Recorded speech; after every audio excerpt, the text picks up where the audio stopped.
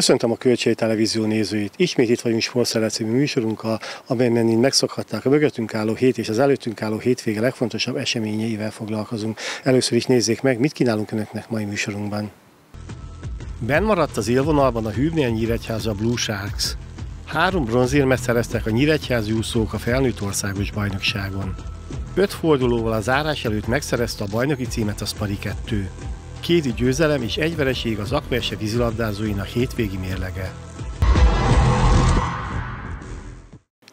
Ben maradt az NB1 átcsoportban a Hübner Nyíregyháza Bluesász. A két cápák 91-86-an nyertek Pécsen, és mivel az Alegerszeg győzni tudott Passon, Pető Ákos együttese meghosszabbította élvonalbeli tagságát. Jól reagáltuk le a változtatásaikat, hiszen edzőváltásuk volt, és kicsikét éreztük, hogy új, új szerkezetet fognak kipróbálni, ami ami logikus is volt, hiszen az legutóbbi meccset már így fejezték be, illetve védekezésben is váltottak, amire szintén úgy gondolom, hogy főleg a második fél időben jól tudtunk reagálni.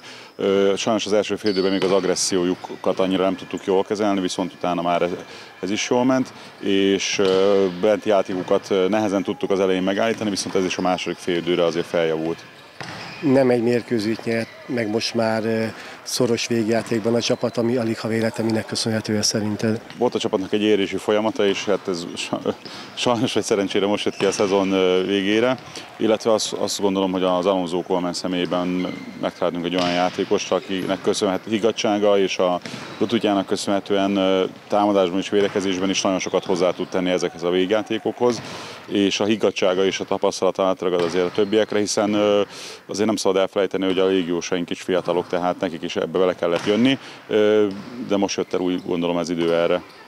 Gondolom a Pécsi győzelem után mindenki Zalegerszeg szurkoló lett, hiszen kellett egy Zalegerszegi győzelem pakson ahhoz, hogy a csapatban maradjon. Igen, igaz egy nappal később játszott a Zalegerszeg, valóban a csapat azért izgatottan figyelte. Megmondom őszintén, annyira nem követtem el mert nem sok ráhatásom van erre a mérkőzésre, ilyenkor meg nem szeretek annyira ö, foglalkozni vele, de, de természetesen egyből eljutottak hozzám az információk. Ö, valóban Zalaegerszeg szurkolgatunk egy kicsit, ö, de ezt most már el kell felejteni, hiszen még nincs vége a bajnokságnak, még van két mérkőzés.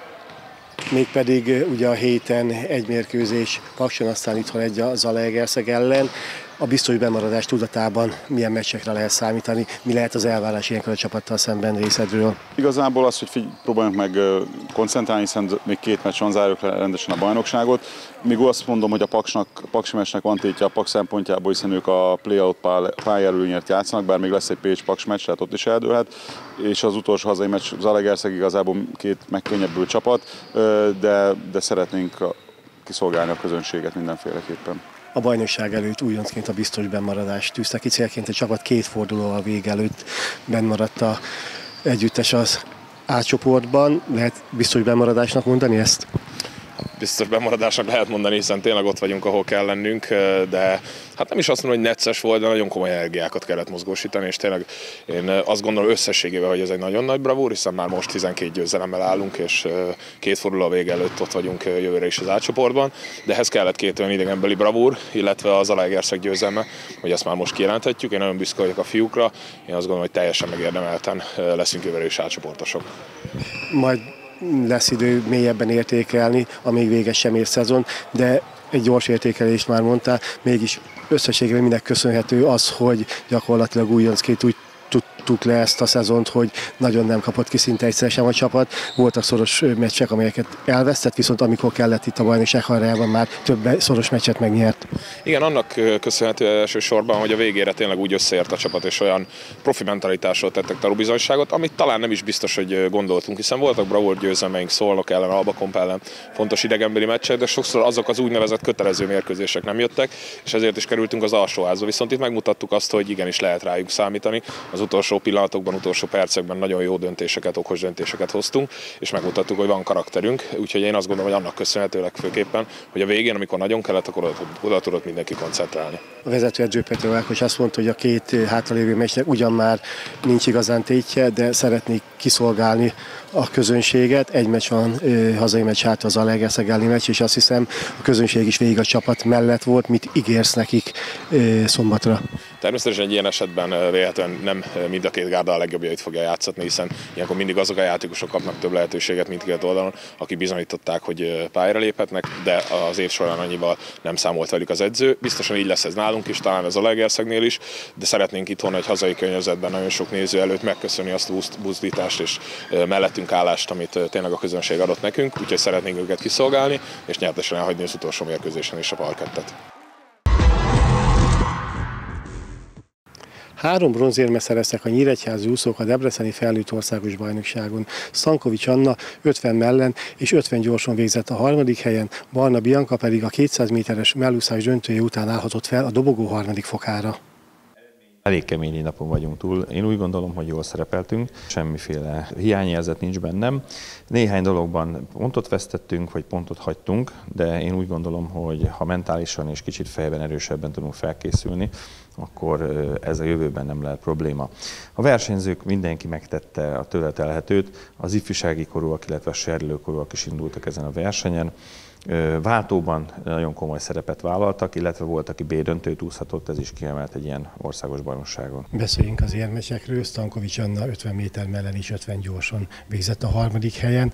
Melyik volt az elvárható, melyik volt a meglepetés? Mellúszásban mindenképpen, hogy dobogóra váltó kölcsőt, hát nem ki kell mondani, hogy ő a csúcstartó, tehát valamilyen szinten, bár tavaly második lett ezen a távon, első helyezést vártunk tőle, századokon múlt konkrétan három századon. Én úgy gondolom, hogy a mellúszásban van még javítani valója ütemen, ritmuson, de ezt ők pontosan látják az edzőjével, és pontosan tudja.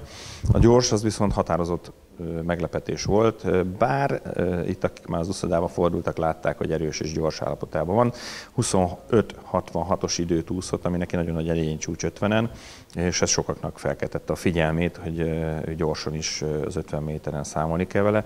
Azért is jó ez a hír, mert az 50 méter ugye olimpiai szám gyors úszásban. Viszont lesz egy világbajnokság, alig kevesebb, mint 50 nap múlva, és Anna az 50 méteres mellúszásban tagja a magyar válogatott keretnek. Mekkora elismerése ez az így zajló munkának, és milyen felelősséget róla a következő hetekben?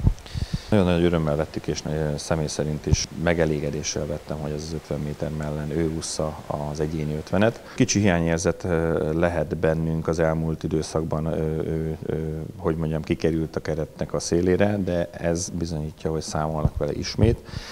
Nagyon nagy bizonyítási vágy, és mi a magyar rendezés, és 2017-ben én ott volt, ő nagyon-nagyon érzi és tudja, hogy itt a magyar közönség előtt úszni azért nem egyszerű, és nem kis felelősség, de fel lesz készülve, biztos vagyok benne. A harmadik nyíregyházi bronzérmet Barna Bianca szerezte Debrecenben. Ez mennyire volt meglepetés? Ez kimondottan. Amikor már délelőtt láttuk az úszását, délelőtt is egyéni csúcsot úszott, illetve ötödik helyen került be a döntőben.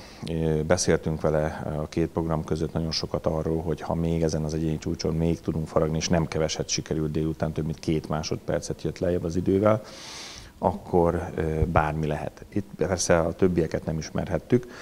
Természetesen a Békés Eszterről tudtuk, aki az olimpián a 200 mert ezt a számot úszta, és ennek az országos bajnoka és csúcstartója is ő tartja a rekordot. Első helyen jutott tovább ezen a számon, és az első idővel nyerte. Innentől kezdve a Bianca óriási hajrával, nagyon nagy szívvel, egy remek versenyzéssel harmadik helyre odaért első éves ifiként. Ez szintén olyan visszhangot keltett, hogy az IFI szövetségi kapitány jelezte, hogy számítana rá a felnőtt, vagy az IFI válogatottban, és ez a gimnáziádén fog először realizálódni. Hatházi Dórától várhatunk még érmeket, azok ezúttal elmaradtak, mi miatt? Dórinak teljesen, hogy mondjam, az egyik legjobb felkészülés után voltunk, nagyon jó felhúzó versenyek, nagyon jó időket úszott.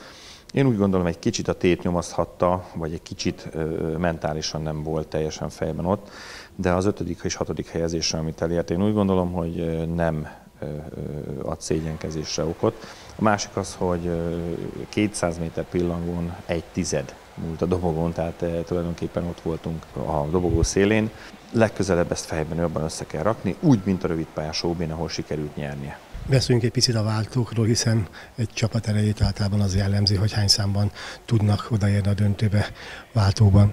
Nagyon szerettünk volna a váltók és váltókban döntőt úszni. Ugye tavaly ez csak 4x100-as mix vegyes váltóba sikerült. Ott volt egy kicsi változtatás, és most az éppen lecsúszott a ö, döntőről, viszont a 400-as mix gyorsváltónk az olyan jól szerepelt, hogy hatodik helyezést ért el két csapatot is megelőzve a döntőbe.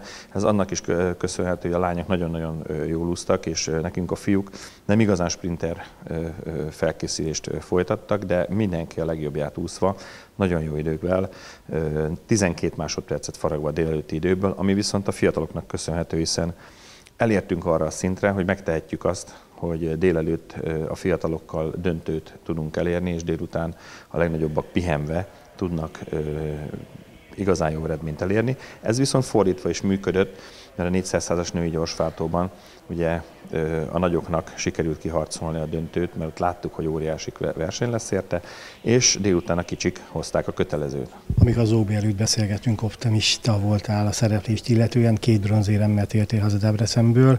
Összességében mennyire vagy elégedett az elmúlt héttel? Azt gondolom, hogy alapvetően ö, megmutattuk azt, hogy, hogy jó formában voltam, hiszen 50 gyorsan ez nagyon is ö, kijött, és az nagyon jól sikerült.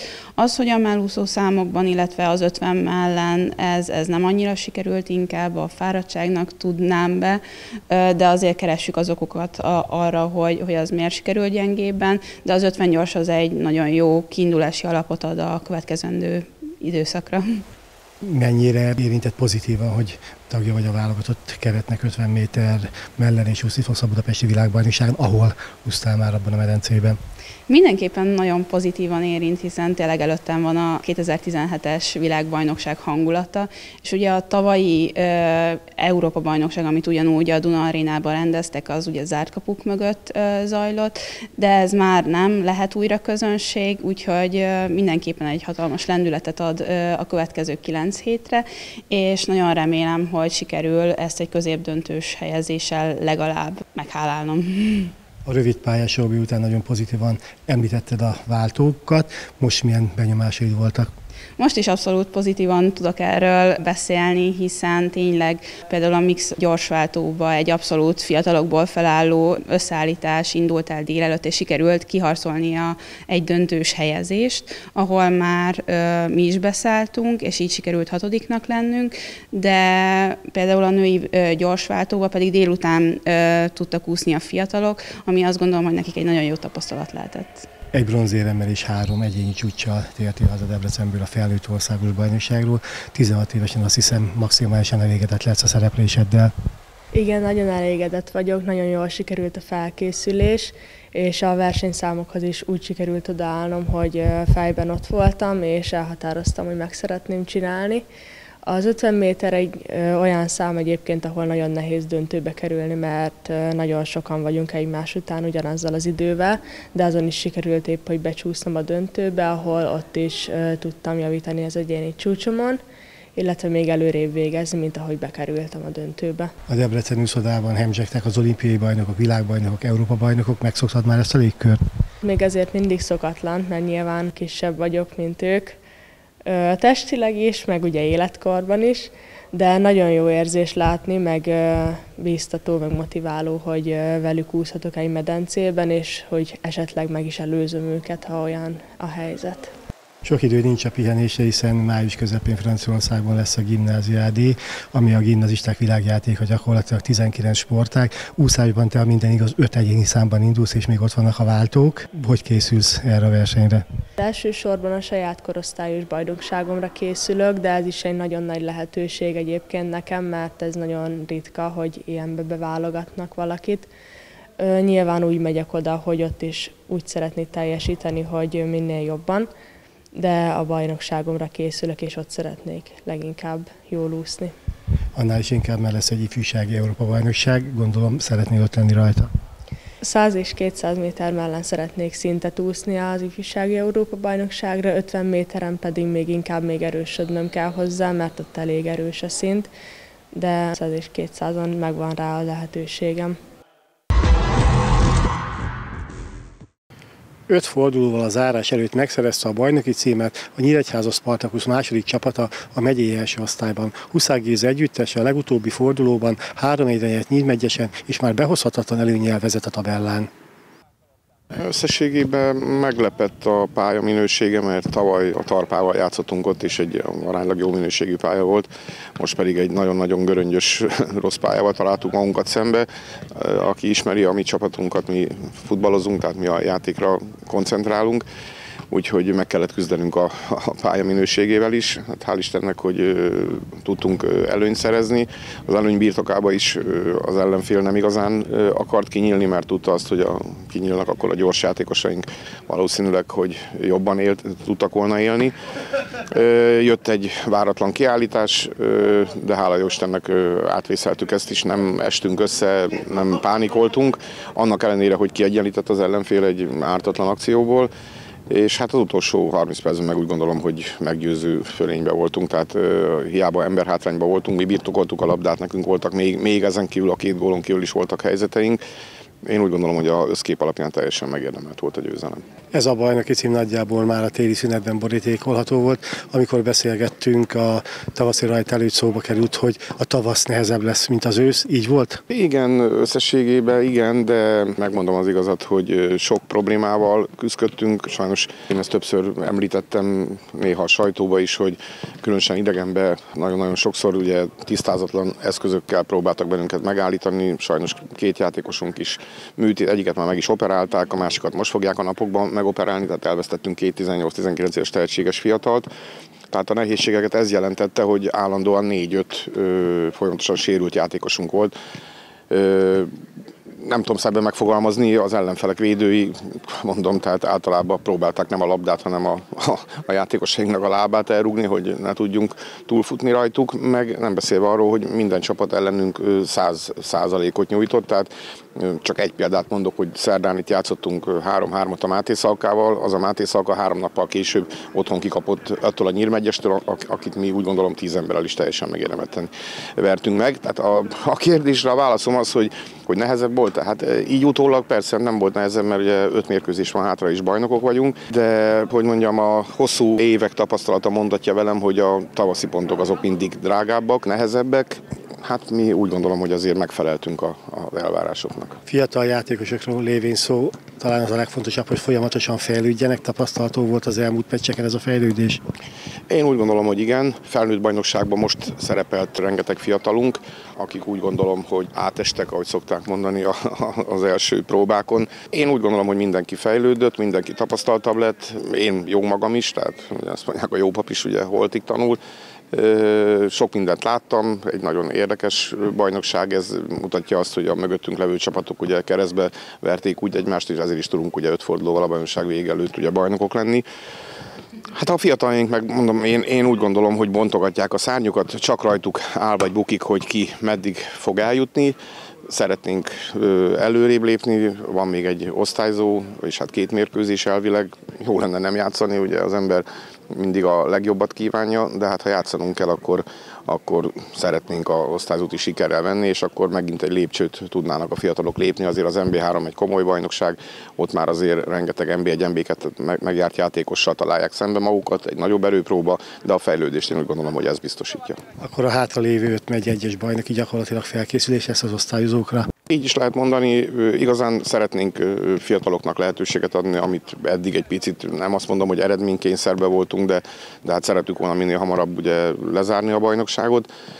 Most egy kicsit úgy mondom, hogy azok a fiatalok, akik eddig kevesebb lehetőséget kaptak, mindenképpen szeretnénk lehetőséget adni nekik, és hát természetesen, hogyha az első csapatból van olyan játékos, aki esetleg sérülésből, vagy, vagy formahanyatlás, vagy, vagy bármilyen probléma miatt visszakerül hozzánk, azoknak is lehetőséget adni, hogy, hogy tudják segíteni az első csapatot.